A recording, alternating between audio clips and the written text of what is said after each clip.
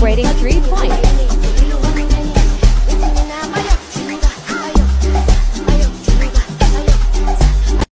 While